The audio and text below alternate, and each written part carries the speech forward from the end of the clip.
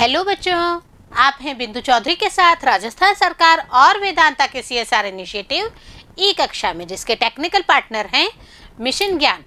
बच्चों, अपनी story going on है एवलिन आपने स्टोरी के बारे में पढ़ा, एक ऐसी 19 ईयर ओल्ड बच्ची के बारे में पढ़ा, जो कि बहुत ही अपने फैमिली के प्रति डेडिकेटेड हैं अगर हम एवलिन की बात करते हैं तो हम देखते हैं कि जेम्स जोएक सर ने एवलिन के करेक्टर को बहुत ही अच्छा सा लिखा है और मैं आपको फ़र्स्ट पार्ट में इसका जेम्स जोएक सर के बारे में बता चुकी हूँ।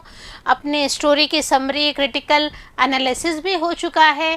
साथ ही आपने देखा, अपने सेकंड पार्ट में शॉर्ट क्वेश्चन आंसर्स भी हमने कवर किया है।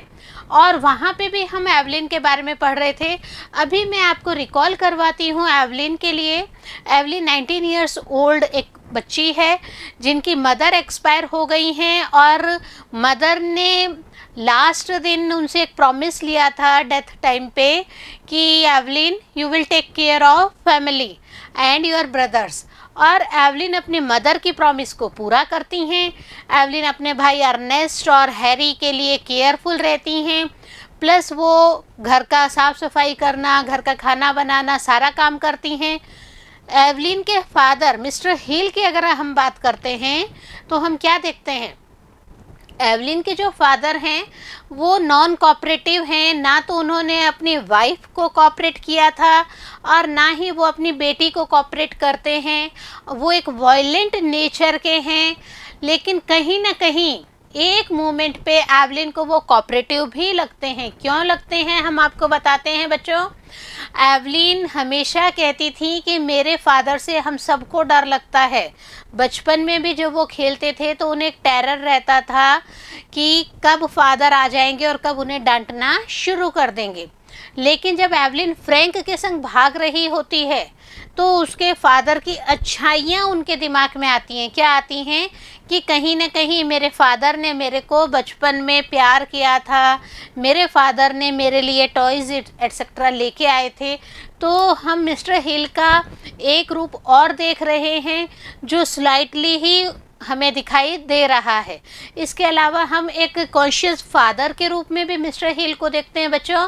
हम क्या देखते हैं कि मिस्टर हिल जो हैं, जब एवलिन और फ्रैंक के रिलेशन की बात उनके दिमाग तक पहुँचती है, उनके कानों तक पहुँचती है लोगों के द्वारा तो एवलिन को भी कहते हैं, एवलिन सेलर्स पे बिलीव नहीं करना चाहिए and Frank is a sailor so I hope you will not accept his proposal of love and marriage और वो फ्रैंक को भी एक बार रास्ते में मिलते हैं। फ्रैंक को भी वो बोलते हैं कि आप मेरी बेटी से दूर रहेंगे। तो एवलिन और मिस्टर हिल, फादर और डॉटर का जो करेक्टर है, वो कहीं ना कहीं कई मोमेंट्स पे मिस्टर हिल जो हैं, वो सॉफ्ट दिख रहे हैं, काइंड दिख रहे हैं। बाकी पूरे टाइम में, शॉर्ट स्टोरी में ये एक वायलेंट फादर के रूप में ही रिजेंबल हो रहे हैं। हम बात करते हैं अर्नेस्ट की। अर्नेस्ट जो हैं, वो एवलिन के भाई हैं और अर्नेस्ट जो हैं, वो चर्च डेकोरेशन बिज़नेस में काम करते हैं। डबलिन के अलावा वो ऑल ओवर कंट्री में विज़िट करते हैं और अपने बिज़नेस से रिलेटेड वर्क करते हैं। एवलिन के एक और भाई होते हैं, हैरी। हैरी से it's okay Eveline is not so much attached with Harry as attached with the Ernest but she has soft corner for Harry क्यों? क्योंकि हैरी जो है, वो उनको कई मायनों में अलग तरह के छोटे भाई के रूप में, बदमाशियों में और प्यार में केयर में बहुत ही अच्छे से दिखते हैं। हम बात करते हैं फ्रैंक की। जी हाँ हम बात कर रहे हैं फ्रैंक की, जो कि एवलिन और फ्रैंक की लव मिस्ट्री में एक करेक्टर हैं और लव मिस्ट्री में हम फ्रैंक को क्या देखते हैं? He is a sailor he always comes Dublin and he want to meet to Eveline और धीरे धीरे एवलिन और फ्रैंक की दोस्ती हो जाती है, प्यार हो जाता है। बट जहाँ पे मैरिज की बात आती है एवलिन को कई सारी चीज़ें ये फ्रैंक के लिए याद आती है। It's okay he is kind he is manly he tells many stories about sailors but ultimately हम क्या देखते हैं? एवलिन फ्रैंक के करेक्टर के लिए फिर भी सेटिस्फाई नहीं है। वो गॉड से भी पूछती है कि मुझे गाइड करें। और उनके दिमाग में भी ये चीज़ आती है कि कहीं एवलिन को फ्रैंक डुबो द, डुबो ना दे समुद्र के अंदर। तो कई सारे सरकमस्टेंसेज आते हैं। फ्रैंक के करेक्टर को ओनली लव पर्पज से देखा जाए तो इट्स ओके बट एवलिन जो हैं, वो एक कल्चर्ड लेडी हैं। और बच्ची ही हम उन्हें कह रहे हैं क्योंकि लेडी तो हम इसलिए कह रहे हैं कि उनके ऊपर फैमिली की जिम्मेदारियाँ डाल दी गई थी। लेकिन हम उनको गर्ल इसलिए कह रहे हैं कि शी इज़ टीनेज ग्रोइंग है वो और ग्रोइंग जो बच्ची है उस पर पूरे परिवार की जिम्मेदारियाँ हैं उनके फादर बिल्कुल भी कॉपरेट नहीं कर रहे हैं और हैर, हैरी और अर्नेस्ट की देखभाल करना घर की साफ़ सफ़ाई करना प्लस वो केयर टेकर का काम भी कर रही हैं और शॉप में भी काम कर रही हैं। होप आपको स्टोरी याद आ गई होगी बच्चों। आज हम इनके लॉन्ग आंसर क्वेश्चंस करेंगे अपने पार्ट थर्ड में। और हम क्या देखते हैं जेम्स जॉयक सर का जो वे ऑफ़ राइटिंग है। एवलिन के करेक्टर को इन्होंने बहुत ही अच्छे से लिखा है और ये एवलिन का करेक्टर हमें दर्शाता है उस वक्त जेम्स जोक सर जो गर्ल्स की कंडीशंस होती हैं। सोसाइटी में, उसके ऊपर पॉइंट आउट करते हैं। बट गर्ल्स की कंडीशन होने के बावजूद जेम्स जॉयक सर का जो एवलिन के करेक्टर को लास्ट में प्रेजेंटेशन दे रहे हैं, क्या दे रहे हैं वो? कि वो फैमिली को चुनती हैं फ्रैंक को नहीं चुनती हैं। उनको फादर की भी बात याद आ रही है, उनको अपने ब्रदर की भी बात याद आ रही है, और अपनी डैड मदर की भी बात आ रही है कि you will take care of this family और बॉन्डेज में रहना है यूनिटी में रहना है। तो इन सब बातों की वजह से एवलिन क्या कहती है इट्स ओके मैं यंग हूँ, लेकिन मेरे फादर मेरे ब्रदर कहीं ना कहीं मेरे लिए कुछ अच्छा ही करेंगे। तो होप आप इस स्टोरी को देख रहे हैं जेम्स जॉयक सर का। उस टाइम पीरियड में जो भी सरकम था गर्ल्स का, उसको पॉइंट आउट करने का तरीका देख रहे हैं। Now we are taking our long questions and when we are taking our long questions first I will request all of you to open your notebooks and take your pen because first मेरे साथ read out करेंगे जी हाँ मैं बार बार कहती हूँ क्योंकि read out करना भी अपने आप में बहुत ही ज़रूरी है आप देखते हैं आप स्कूल की प्रेयर्स को कहीं पे भी लिख के नहीं रखते हैं। आप स्कूल मॉर्निंग आवर्स में जो प्रेयर्स होती हैं, टेबल्स आपको बोलने को बोला जाता है, पहाड़े हम बोलते हैं। तो इन सबको भी आप क्या कर रहे हैं? लर्निंग स्पीकिंग प्रोसेस को फॉलो करते हुए करते हैं। तो वही हम आपको यहाँ कहना चाहते हैं। First you will read out with me after that you will write down in your copies and learn that and do more and more practice for that one it's okay first we are taking our first question बच्चों, यहाँ पे हम क्या देखते हैं? James Joyce sir जो हैं, उनकी एक कंसिड्रेशन है, उसके बारे में हम बात कर रहे हैं। What are the aspects of contemporary society that got the consideration of James Joyce in Eveline James Joyce sir का एवलिन में जो ये अपनी शॉर्ट स्टोरी है, इसमें वहाँ की जो कंटेम्प्रेरी सोसाइटी का चित्रण किया गया है वो कैसे करना है, उसको हमें आंसर के रूप में किस तरह से करना है। बच्चों, जैसा कि हमने अभी देखा कि हम एक क्वेश्चन को अटेम्प्ट कर रहे हैं तो उस क्वेश्चन में क्या पूछा जा रहा है? कि ये स्टोरी है क्या? तो हम इसी को कंटिन्यू करते हैं, देखिए। James जोइक्स story Eveline presents a very good picture before us हम सबके सामने बहुत ही अच्छी पिक्चर जेम्स जोयक सर ने उस टाइम की सोसाइटी की देने की कोशिश की है। It tells about the society of his time पूरा उनका जो उस टाइम का सोसाइटी पिक्चर होता है अप डाउन्स होते हैं, उनकी बात की है सर ने।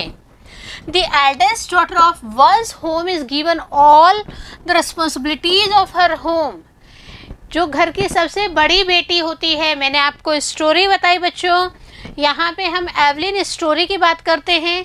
तो एवलिन जो है, वो सबसे एल्डर डॉटर होती है फैमिली की एंड जो उनके फादर होते हैं, वो उन्हें पूरी घर की रिस्पॉन्सिबिलिटीज़ दे देते हैं। It happens in the absence of the mother of the daughter और यह सब कब होता है बच्चों? जब उनकी जो मदर है डॉटर की इट मीन्स एवलिन की जो मदर हैं, वह एक्सपायर हो जाती हैं and she took promise from Eveline to take care of her brothers and family. The woman to look after all the household work हम क्या देखते हैं? जितने भी हाउस होल्ड वर्क्स हैं, उन सबको एवलिन को ही करना पड़ता है। She has to clean the house has to go for shopping and all the works related to her home. हम क्या देखते हैं कि इनको ना सिर्फ़ अपने घर का काम करना पड़ता है, बल्कि शॉपिंग का काम भी यही करेंगी, एवलिन ही करेंगी। साथ में ही घर के जितने भी काम हैं, घर की साफ़ सफ़ाई करना, घर का कुकिंग करना, घर के बाकी काम करने के संग शॉपिंग का काम भी एज हर मदर इनसे पहले इनकी मदर ये सारे काम करती थी और अब इनको ये सारे काम करने का बोला गया। The same happen with Eveline after her mother's death और यही हम क्या देखते हैं? जैसे ही एवलिन की मदर की डेथ हुई, सारी रिस्पॉन्सिबिलिटीज अल्टीमेटली किसके ऊपर आ गई? एवलिन के ऊपर आ गई। Evelyn is not very old. Her father never pays attention to her age. हम क्या देखते हैं कि एवलिन जो हैं, वो इतनी बड़ी हो गई हैं और उनके जो फादर हैं, वो बिल्कुल भी उनकी एज के ऊपर, उनके खुद के ऊपर एज अ गर्ल उनके लिए क्या रिस्पॉन्सिबिलिटीज़ हैं, उन पर बिल्कुल भी ध्यान नहीं दे रहे हैं हम क्या देखते हैं? एवलिन जो है वो 19 इयर्स ओल्ड गर्ल है और उनके जो फादर हैं, वो उनके ऊपर बिल्कुल भी ध्यान नहीं दे रहे हैं। He said at one place that what she was doing was only for the sake of her dad mother हम क्या देखते हैं? एक जगह पे एवलिन के फादर ने यह भी कह दिया था कि आप हमारे लिए कुछ नहीं कर रही हो। आपकी जो मदर की डेथ हो गई थी, मदर को आपने प्रॉमिस किया था, इसीलिए से आप ये सारा काम कर रही हैं। Eveline earn for her family और हम क्या देखते हैं कि एवलिन जो है, ना सिर्फ़ घर के काम कर रही हैं, बल्कि वो अपनी फैमिली के लिए कमाई का साधन भी बन गई हैं। हम क्या देख रहे हैं? Her father was careless and irresponsible towards them Eveline Harry Ernest तीन बच्चे होते हैं, तीनों, हम कह सकते हैं कि इनके जो फादर होते हैं तीनों बच्चों के, वो उनकी बिल्कुल भी केयर नहीं करते हैं। He use to threaten his daughter Eveline और सबसे बड़ी बात क्या है, वो अपनी डॉटर एवलिन को तो हमेशा डांटते डपटते ही रहते थे। He made himself free from all the family burdens और सबसे बड़ी बात है कि मदर की डेथ के बाद में फादर ने भी घर पे ध्यान देना बंद कर दिया था। जितनी भी उनके फैमिली बर्डन्स थे, उन सबसे वो फ्री हो गए थे। वो बिल्कुल भी केयर नहीं करते थे फैमिली की। And this way the girls during the time of James Joyce were not rated fairly इसलिए हम क्या देखते हैं बच्चों? कि जेम्स जोएक सर के टाइम में जो गर्ल्स हैं, उनसे प्रॉपर ट्रीटमेंट नहीं किया जाता था। उनको प्रॉपर लव, केयर नहीं दिया जाता था। Their life was hard at the tender age the girls were given the huge responsibilities not only to run the house look after younger brother and sisters. Arrange food for them but also face the hardship to earn for their family to feed them हम क्या देखते हैं बच्चों यहाँ पे कि जो Evelyn है या एवलिन की तरह और सारी जो गर्ल्स हैं, उनको क्या करना पड़ता था? उनकी लाइफ जो बहुत ही हार्ड होती थी, छोटी सी एज में ही उन्हें बहुत सारी जिम्मेदारियाँ दे दी गई थी। Lot of responsibilities are there not only to run the house but look after their younger brothers and sisters और हम क्या देखते हैं कि उनके लिए फ़ूड का अरेंज करना, उनके लिए कमाना ये सारे काम कौन कर रही हैं? गर्ल्स कर रही हैं। इन्होंने सिर्फ़ एक एवलिन के करेक्टर को लेके हमें इस चीज़ को पॉइंट आउट करके समझाया है।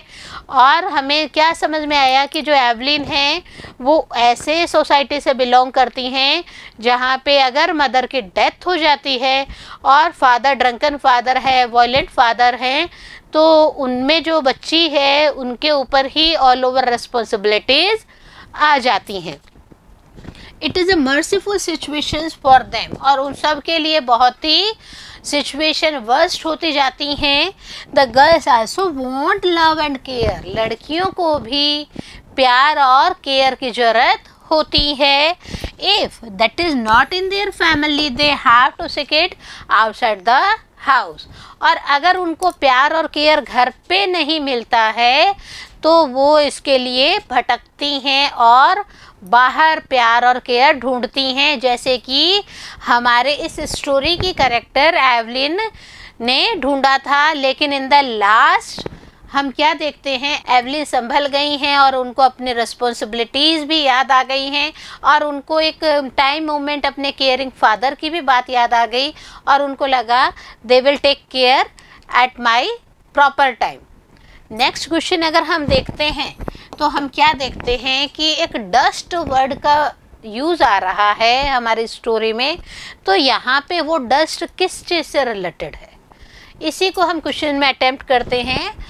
Eveline's home is full of dust what does it symbolises यहाँ पे डस्ट जो है, वो किस चीज़ को सिम्बलाइज करके बताई गई है? हमें वह ही यहाँ पे डिस्क्राइब करनी है। डस्ट ओनली हम मिट्टी को नहीं कहेंगे।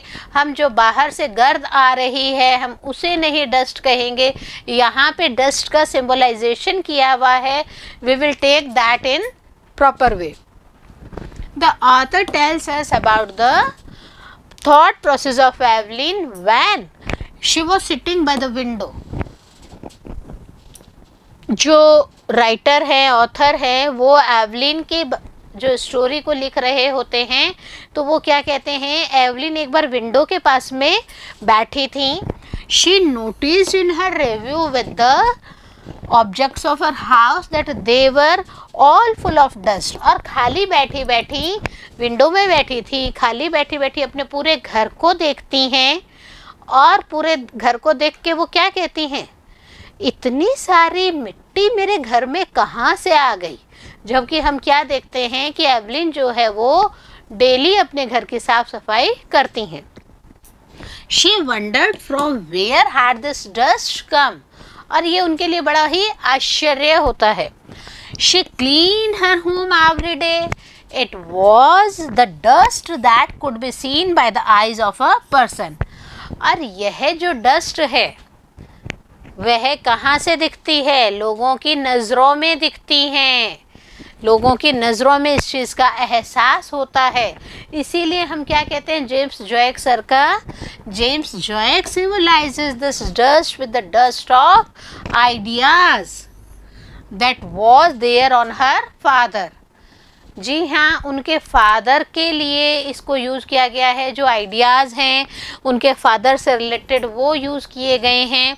He was very careless and irresponsible Evelyn सोचती हैं कि ये इतनी मिट्टी कैसे आ गई है? मिट्टी यहाँ पे क्या सिंबलाइज कर रही है?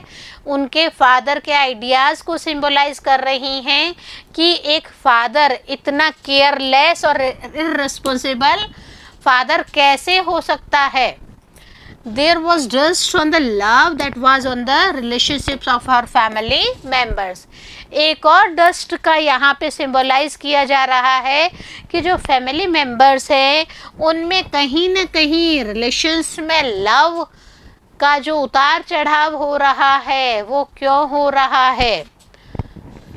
Those who wanted love and sincere care were not given in the proper sense और ऐसे लोग जिनको प्रॉपर केयर और लव की ज़रूरत है, उनको प्रॉपर सेंस में लव और केयर नहीं मिल रहा है। यहाँ पे हम किसके लव और केयर की बात कर रहे हैं बच्चों? हम बात कर रहे हैं एवलिन के लव और केयर की। जी हाँ एवलिन जो हैं वो 19 ईयर्स की हो गई हैं और वो खिड़की में बैठी बैठी सोचती हैं कि मेरे पापा बिल्कुल भी मेरे पे ध्यान नहीं दे रहे हैं। मेरे पापा इतना गैर जिम्मेदार कैसे हो सकते हैं? एक परिवार में प्यार की ज़रूरत है, वो क्यों नहीं दे रहे हैं? वो क्यों नहीं यह एहसास कर रहे हैं कि मैं अब बड़ी हो रही हूँ और मुझे भी प्रॉपर केयर की ज़रूरत है? तो मेरे फादर यह सब क्यों नहीं कर रहे हैं? This shows that they need to remove the dirt और यही सब कुछ हमें बताते हैं कि उस समाज में लड़कियों के अंदर जो चेंजेस आ रहे हैं, उन चेंजेस के लिए पूरी फैमिली को चेंज होना चाहिए। उन चेंजेस के लिए फादर को विशेष प्रॉपर केयर देनी चाहिए। तो यहाँ पे ये जो डर्ट की बात कर रहे हैं, हम वही डर्ट की बात कर रहे हैं। हम क्या देखते हैं कि जब घर पे प्रॉपर लव एंड केयर नहीं मिल रहा है तो जो एवलिन है, उनका झुकाव किस साइड हो जाता है? Evelyn found such a care in Frank Evelyn इस तरह की केयर किसमें ढूंढ लेती हैं? फ्रैंक नाम के एक सेलर में ढूंढ लेती हैं।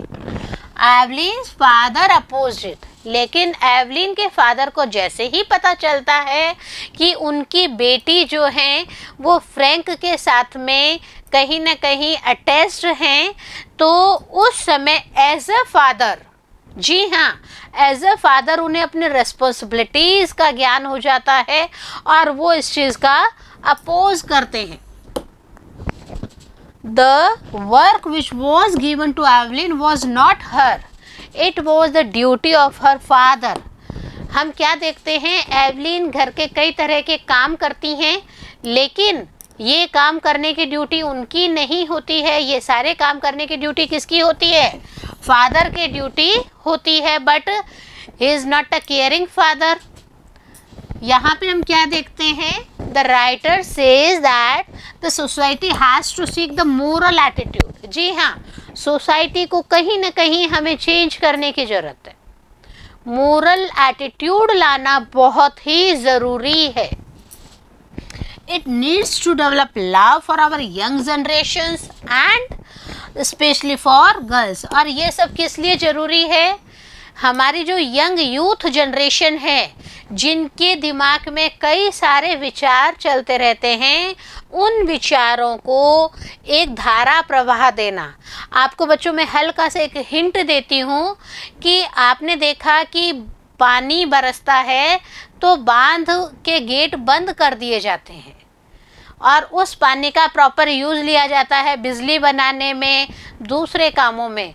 और यही अगर उनके गेट खोल दिए जाते हैं तो वो बाढ़ के रूप में सामने आ जाती है।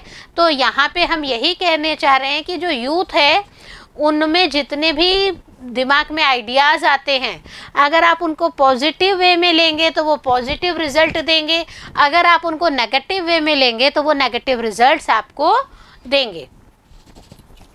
एक और चीज़ हम क्या देखते हैं? It symbolizes the dust on the sweet relations यहाँ पे एक और सबसे बड़ी बात है, हम डस्ट की बात कर रहे हैं तो यहाँ पे ये जो डस्ट है, ये जो रिलेशंस हैं, उन रिलेशंस के ऊपर भी इसको सिंबलाइज करके बताया गया है। तो बच्चों, मैं फिर कहूँगी आपके जितने भी थॉट्स हैं, आपके जितनी भी बातें हैं, आप हमेशा अपने फैमिली मेंबर से शेयर ज़रूर करें।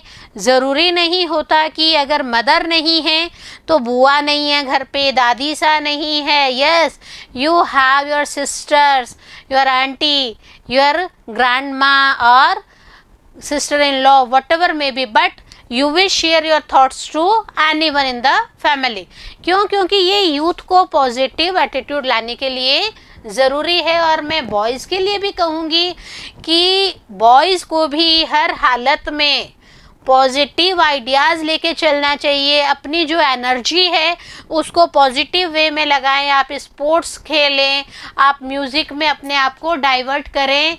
आप देखिए, आप ही अपना अच्छा कर सकते हैं और आप ही अपना बुरा भी कर सकते हैं। यहाँ पे हम इस चीज़ को इसलिए ले रहे हैं क्योंकि हमारा जो नेक्स्ट क्वेश्चन है, वह इसी से रिलेटेड भी है। What do you think about the last movement decision of Evelyn Evelyn ने एक डिसीज़न लिया था लास्ट मोमेंट पे। तो आप उसके बारे में क्या सोचते हैं? यही क्वेश्चन यहाँ पे लिया गया है। और जो हमने दो मिनट पहले बात की बच्चों, उसको भी यहाँ पे पॉइंट आउट करके बताया जा रहा है। एवलिन कहीं ना कहीं अपनी मदर की बात कर रही हैं, अपने ब्रदर की बात कर रही हैं और अपने डिसीज़न को चेंज भी कर रही हैं। What are the changes in her decision see with me in this answer Evelyn was not in condition to take a decision होता क्या है? एवलिन जो है, वो फ्रैंक के संग घर छोड़ के जा रही है। लेकिन इन द लास्ट उनके जो माइंड है, वो अपने आप में स्ट्रगल कर रहा है।